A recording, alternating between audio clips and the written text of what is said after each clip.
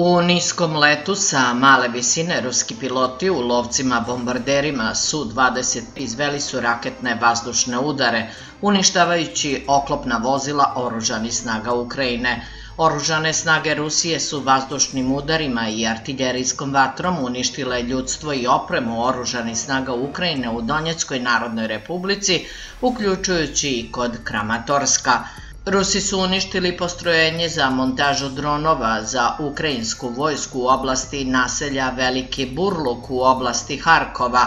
Oružane snage Rusije uspešno su odbile i napad ukrajinske vojske u oblasti Staromajorsko u Donjeckoj narodnoj republici.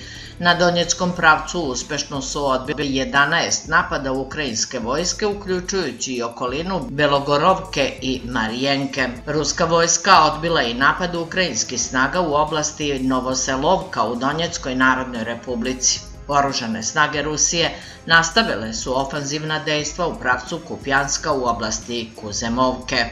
Rusi su uništili štab i rezidenciju operativnog tima 35. brigade Marinske pešadije oružani snaga Ukrajine u Zaporoškoj oblasti. Sredstvima PVO Rusi su tokom prethodnog dana oborili ukrajinski avion Su-25 u Donjeckoj narodnoj republici. Uništili su i skladište municije ukrajinske vojske u zoni naselja Dačno u Donjeckoj narodnoj republici, a sredstvima PVO su tokom prethodnog dana presreli 12 granata HIMARS, uništili 23 ukrajinska drona.